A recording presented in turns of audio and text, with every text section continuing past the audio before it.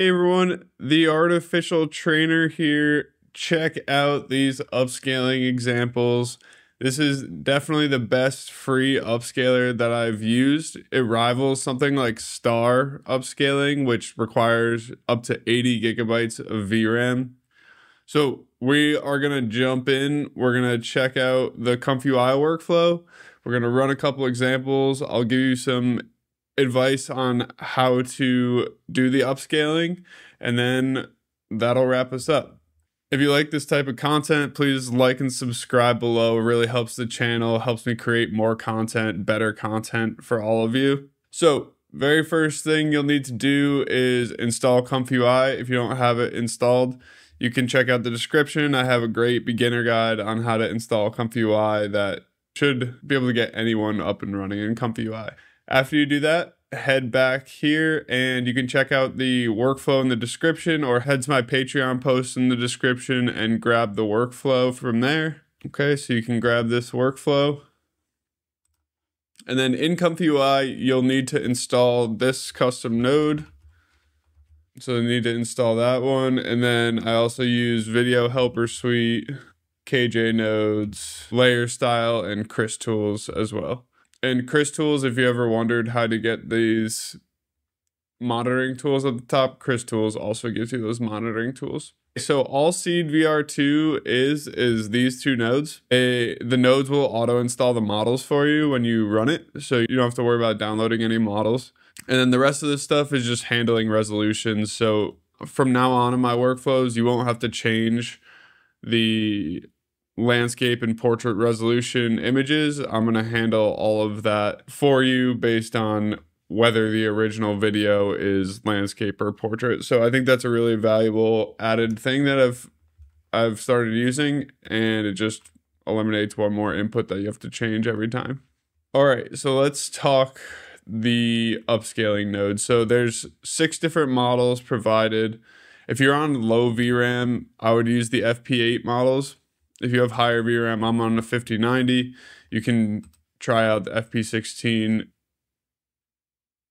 So we'll talk about the batch size next because it kind of relates to the amount of VRAM you have.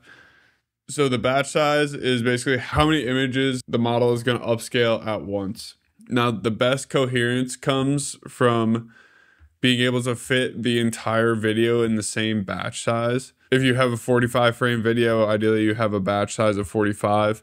If not, you'll get some warping across like from the 45th to the 46th frame, you'll get some warping, which is not ideal. The other thing you can do is change the resolution. So I'm going to generate at 720p, but you can also try 480p and then just do a standard upscale image after. SeedVR2 adds a ton of detail, so just using this bilinear upscaler uh, at the end actually really does a great job.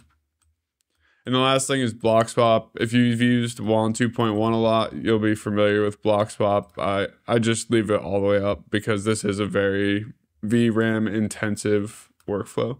Okay, and then the last thing is if you're one upscale 480p and 720p videos, SeedVR2 seems to do a much better job at upscaling really low resolution videos than it does really high resolution videos. So I actually recommend downscaling the video to start with when you have really high resolution videos and then upscaling it back up.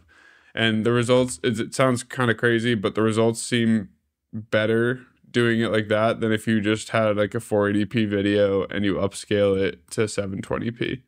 Okay, so that is the whole workflow. Let's run a couple of them and I'll show you the results. So this is a video of a tiger. You can see really, really fuzzy, grainy. And we are going to, so it's basically doing a two-step upscale. We're upscaling it to 720 and then we're upscaling it to 1080. So let's run it. All right, and here's our result. You can see really, really good. Now you can you can see right at the end there where it past the 45 frame batch size, you can see right in the middle there, you kind of get a little bit of a warp. So let's try the FP8 model and see if we can fit the whole thing in our in our generation here. And just for some information here, 61 frames is using 24.59 gigabytes of VRAM. So probably anything under 61 frames, you'll be able to use a 4090 for. All right, so now you can see we get awesome results, no warping throughout the frame at all. And this is what we started with. So really, really impressive. Okay, now I just want to, so here I have a 480p video and I just want to show you upscaling from 480p to 1080p what the results are.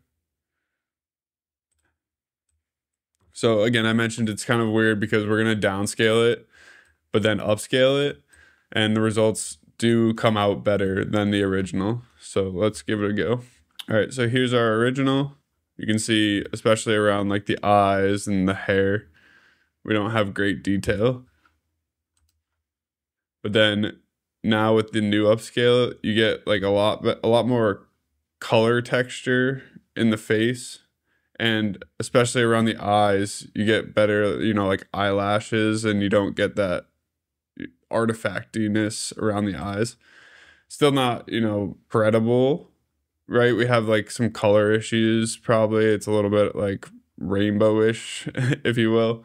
But it's definitely adding detail. You can see how blurry it is there at the end versus here at the end around the eyes. All right, so that is it for this video. I hope you find this workflow useful. I know that I am going to use this a lot, especially for those videos at the beginning of the video that I always have, the example videos. I'll probably use this to upscale them to make them look even better and more presentable join the Discord if you're having any problems. It's a great place to get some help. I'm not the only one helping out there. There's other people in the Discord who are really knowledgeable. It's a great resource if you want to learn more about this.